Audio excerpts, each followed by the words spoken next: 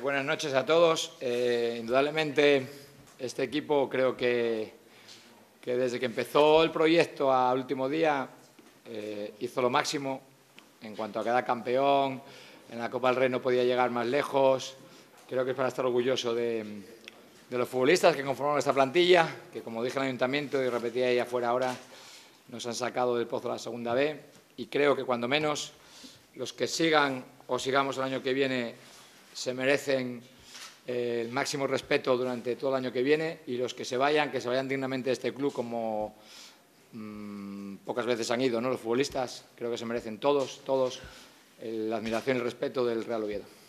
No, no, no, no, ¿qué va? Estoy contento, feliz, feliz. No, no, emocionado no, pero creo que muchas veces eh, mañana ya empezaremos a hablar de la 2015-2016 y no nos podemos olvidar de los que nos sacaron del pozo. Si no, empezaríamos otra vez con la cantina de los últimos 12 años y ya va siendo hora de que desde todos los sitios hagan bien las cosas y, los que sigamos y los que no sigan, que sean recordados y valorados, sobre todo.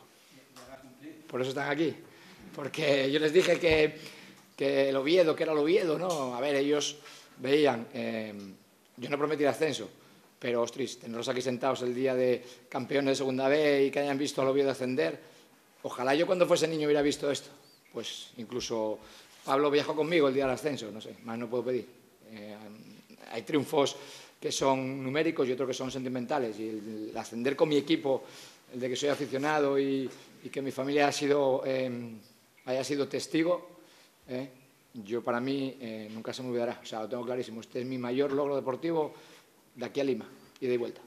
Bueno, sin duda, quizá mi presentación fue no sé, me dio muchísima autoestima a mí mismo, me dio mucha moral. Luego creo que hubo partidos por ahí que, que marcaron mucho. Creo que eh, indudablemente el partido del ascenso y para mí es un partido que, que, creo que cambió un poco la mentalidad de la gente y que cambió un poco, que la gente dijo esto cambió. Esta gente se mancha de barro Astorga y gana 0-1. Esto cambió. Creo que el, el acabar el partido y ver a todos los futbolistas del Oviedo embarrados, celebrando una victoria en Astorga, creo que cambió mucho la opinión de la gente hasta hacia, hasta, hacia este club y, y, empezaron a confiar de verdad en nosotros. Ese partido para mí es el punto de inflexión sobre las dudas que podíamos generar o que generaba este club durante los últimos 12 años y ese día creo que dijimos, estos chavales eh, vienen a dejarlo todo. Es durísimo jugar en Oviedo, es complicado. ¿eh? No, me has citado unos cuantos equipos en los que estuve donde el día a día era eh, más fácil que aquí estás hablando de primera división.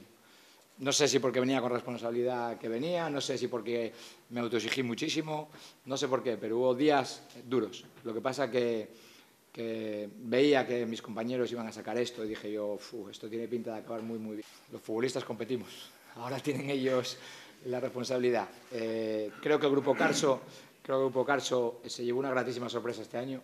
Creo que el Grupo Carso eh, fue partícipe en, directo de, de, del partido de aquí contra el Cádiz, del ascenso en Cádiz, y creo que ellos eh, van a estar más implicados si cabe, y desde aquí ayudarles y, y, bueno, lo que ellos no van a poner en bandeja, en, emplearlo bien. Usted, yo creo, primero... Voy a retroceder unos minutos para atrás. Eh, la gente que nos sacó, por favor, que de dónde venimos, no a dónde vamos, de dónde salimos estos días, de dónde hemos salido este año de donde, de donde no se podía salir, en arena movediza, nos iba tragando al club. ¿De dónde salimos? A partir de ahora no sé dónde llegaremos, pero ¿dónde salimos? Me quedo dónde salimos. No sé dónde va a llegar el club porque puede crecer muchísimo, pero ¿dónde salimos? 12 años eh, casi desaparecemos, medio enterrados.